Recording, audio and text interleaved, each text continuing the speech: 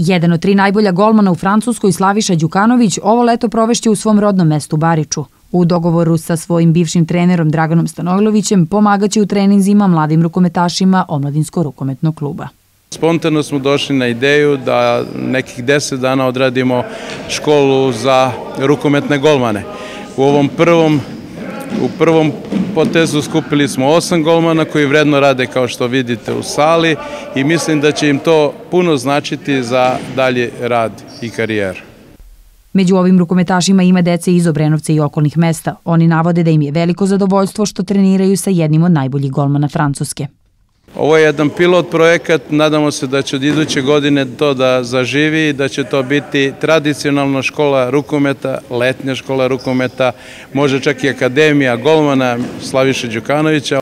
Oni nauče nešto od mene, ja nešto od njih i to je lepo. Stvarno, stvarno, stvarno su deca dobra, ja sad ne znam kakav su kad ja nisam tu, a ovih dana su, i ovih dana što smo trenirali su dobri. A da su vredno trenirali i pre ovoga govore i postignuti rezultati. Jelena Ilić na prošlom turniru u Gornjoj Trnavi proglašena je za najbolje golmana. Jelena kaže da će i rad sa profesionalnim golmanom Slavišom Đukanovićem posebno pomoći u narednim takmičenjima.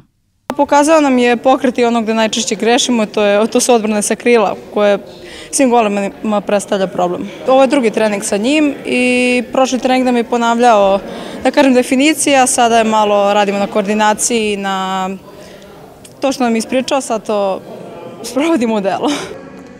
Omladinski rukometni klub ima 80 članova, dok ženski rukometni klub broji 120.